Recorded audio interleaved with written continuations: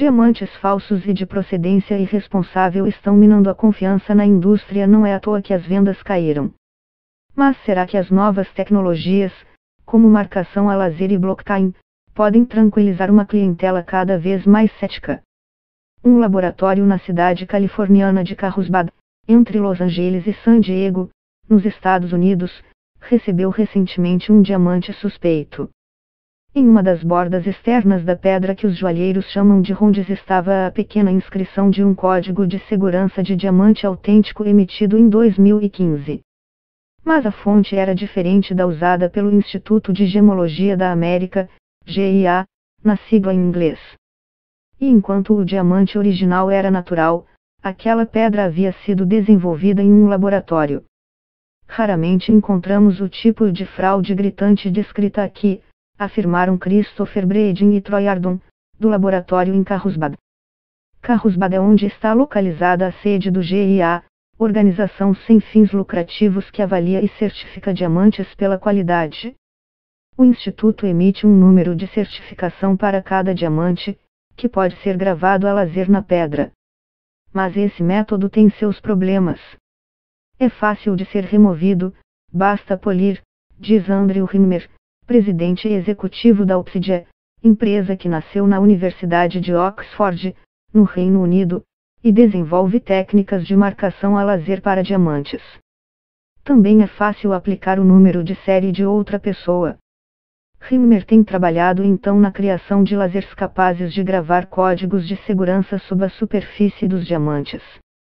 Há um grande mercado para essas pedras preciosas, são 133 milhões de quilates, aproximadamente 27 toneladas, de diamantes brutos no valor de cerca de 15 bilhões de dólares, 16 bilhões de dólares, 79 bilhões de reais, 84 bilhões de dólares, extraídos a cada ano, de acordo com a consultoria americana Bain Company. Cerca de metade é proveniente da África, onde em alguns países, como África do Sul e Botswana, a mineração é bem regulamentada. Mas no Zimbábue, por exemplo, o ex-presidente Robert Mugabe, que comandou o país por 37 anos, usou as exportações de diamantes para financiar os atos de repressão da sua polícia secreta. E no ano passado, três jornalistas russos foram mortos enquanto investigavam as ligações do Kremlin com milícias na República Centro-Africana que se financiam com a venda de diamantes. Os diamantes sintéticos também são um problema para a indústria. Surgiram anúncios no site chinês de comércio eletrônico Alibaba com documentação afirmando que são naturais. Essas preocupações levaram a uma queda nas vendas de diamantes em 2019. Em resposta, muitos representantes da indústria de diamantes têm apostado no uso do blockchain tecnologia que registra transações e informações de maneira verificável e permanente, a prova de falsificação para armazenar informações sobre a história de uma pedra preciosa, da mina até a joalheria. É o caso das plataformas Everledger e Tracker, do de Group. A gigante russa de mineração de diamantes Alrosa anunciou no outono passado, por exemplo, que se juntaria à plataforma Tracker. Assim, será possível fornecer aos clientes a história completa de um diamante, desde o momento em que foi extraído, afirma Eugênia Kozenko, da Alrosa.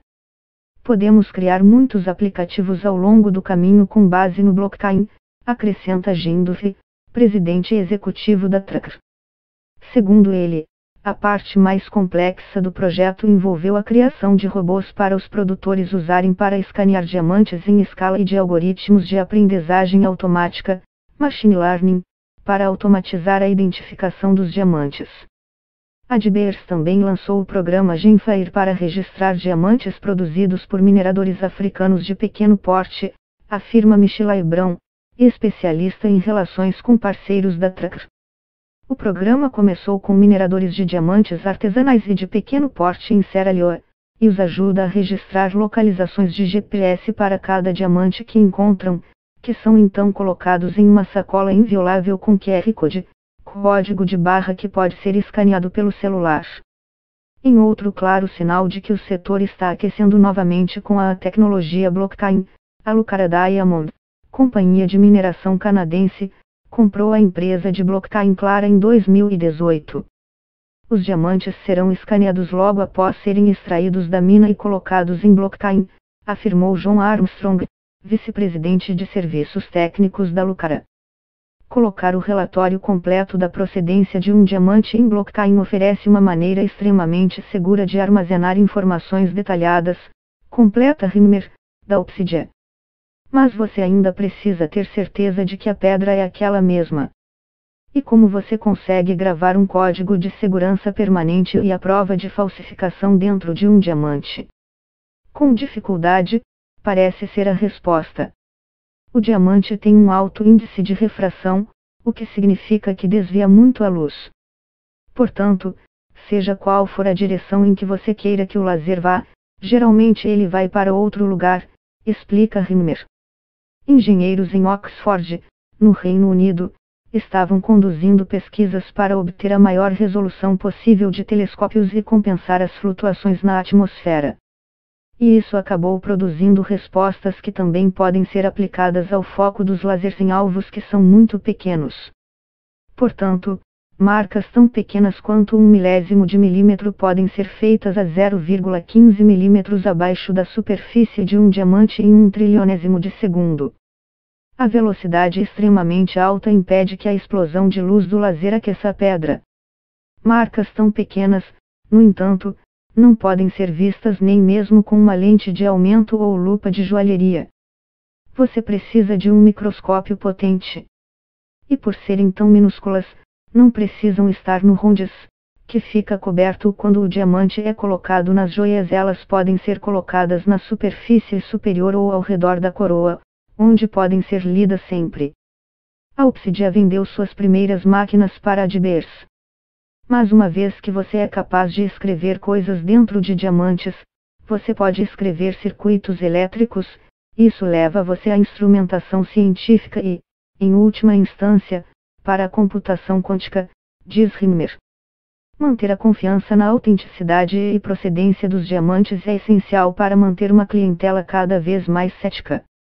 Ajayanand, fundador da Harikarat, com sede em Nova York, criou uma plataforma que coleta dados sobre diamantes à venda de grandes e pequenos varejistas. Ele se deu conta de que os diamantes são o banco de dados perfeito para machine learning e previsão de preço.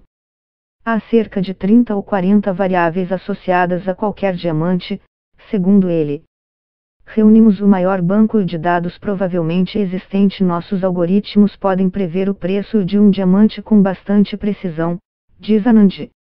A plataforma indica aos clientes o quanto determinado diamante pode ser, em sua análise, um bom negócio.